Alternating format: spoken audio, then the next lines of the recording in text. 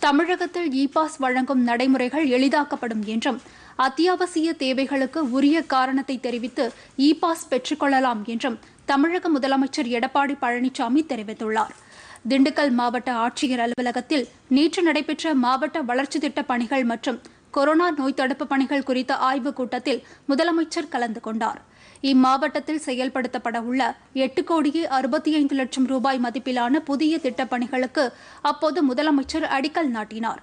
மேலும் எட்டு கோடியே எண்பத்தி எட்டு லட்சம் ரூபாய் மதிப்பில் கட்டப்பட்டுள்ள பல்வேறு கட்டடங்களையும் திறந்து வைத்த அவர் மூவாயிரத்து ஐநூற்று முப்பது பயனாளிகளுக்கு இரண்டு கோடியே தொன்னூற்று ஆறு லட்சம் ரூபாய் மதிப்பிலான நலத்திட்ட உதவிகளையும் வழங்கினார்.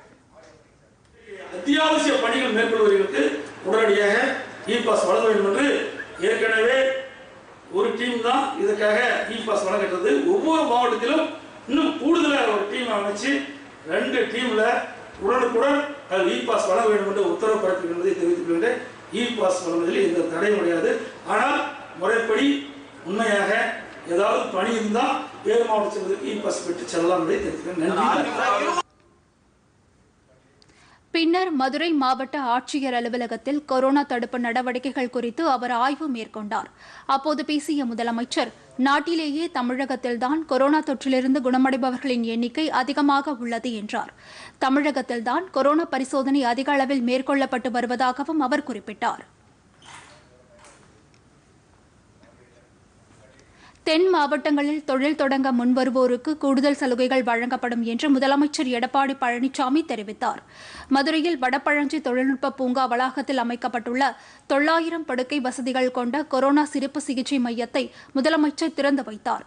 அதனைத் தொடர்ந்து மதுரை மாவட்டத்தில் செயல்படுத்தப்பட உள்ள முன்னூறு கோடி ரூபாய் மதிப்பிலான பல்வேறு புதிய திட்டப்பணிகளுக்கு அவர் அடிக்கல் நாட்டினார்.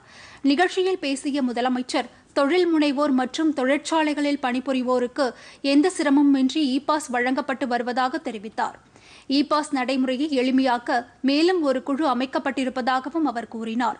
மதுரை தமுக்கம் மைதானத்தில் நாற்பத்தி ஏழு கோடி ரூபாய் செலவில் கலாச்சார மையம் அமைக்க அரசு நிதி ஒதுக்கியிருப்பதாகவும் முதலமைச்சர் எடப்பாடி பழனிசாமி குறிப்பிட்டார். பொதிகை செய்திகளை யூடியூபில் தமிழ் நியூஸ் தூர்தர்ஷன் என்ற சேனலிலும் முகநூலில் டிடி பொதிகை நியூஸ் என்ற பக்கத்திலும் ட்விட்டரில் டிடி நியூஸ் சென்னை என்ற பக்கத்திலும் இன்ஸ்டாகிராமில் டிடி பொதிகை நியூஸ் என்ற பக்கத்திலும் காணலாம்.